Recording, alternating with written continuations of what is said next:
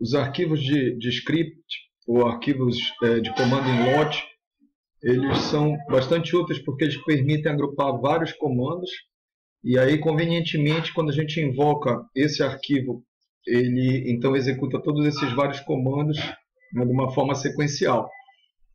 E a gente tem tanto no Windows que requer a extensão, como a gente viu, para ser executável, o Windows trabalha com extensões, então é, os arquivos em lote normalmente são os pontos BAT, apesar de não serem a única extensão, mas é, essa é a mais usada, de batch em inglês, né, tá aqui, e seriam os arquivos em, em lote. Né? Então, é, olhando primeiro o, o, Windows, depois passando para o Linux, a gente vê no Windows a chance, por exemplo, de ter um é, esse arquivo aqui Go é um exemplo bem simples. Ele basicamente é um arquivo bem pequenininho, né? tem 62 bytes.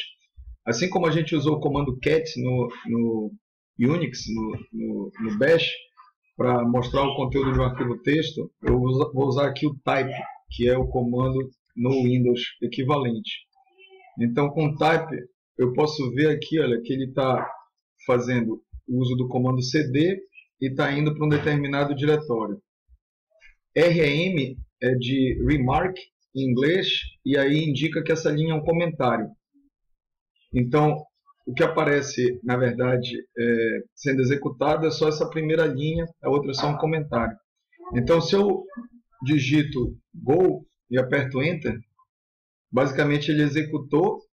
Aqui ele está só ecoando, né, mas isso é só um comentário, então não tem nenhum efeito.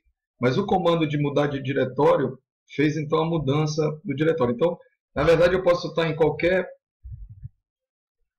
em qualquer lugar né, do, do, do, computador e aí se eu disser go é executado esse comando e eu vou para esse diretório. Então esse é só um exemplo de, de arquivo em lote, né, mas eu posso ter arquivos em lote bem complexos.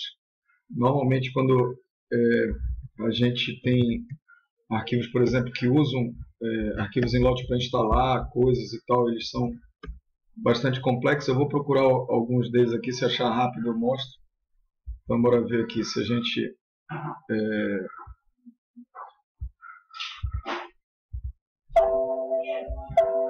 Aqui vai demorar. Ops, esqueci do CD.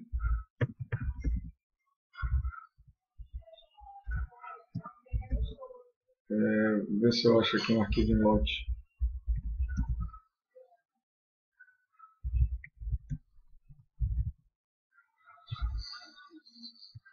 Por exemplo, esse é, teste aqui está inconveniente, né? mas bem, mal dá para ver aqui o nome do programa. Mas vejam só, olha, esse eu estou olhando agora investigando o arquivo em lote né, que veio é, é, no software que a gente comprou do, do, Adobe. E basicamente ele tem então esses vários comandos que são comandos para o interpretador. Então, por exemplo, os comandos de echo, os comandos de goto, né, comandos de if, é, comandos, é, é, deixa eu ver outro aqui, bem, que seriam comandos de if else, né, também dá para ver. Então, o, o, o que basicamente se percebe é que o. Deixa eu usar o meu script. O Go ele vai me levar de novo para aquele diretório. Né? Então, basicamente, isso seria um exemplo de, de arquivo em, em, em lote e seria fácil de fazer. Basta fazer um editor de texto e colocando os comandos e aí gravar com a extensão .bat. No Windows, os como a gente viu, os arquivos em lote não exigem ter extensões específicas. Basta eu, eu usar essa, essa permissão para execução para tornar um arquivo é, em lote. Então, por exemplo, eu vou criar um arquivo em lote qualquer usando esse editor, o VI, e eu vou chamar é, é, my é, é.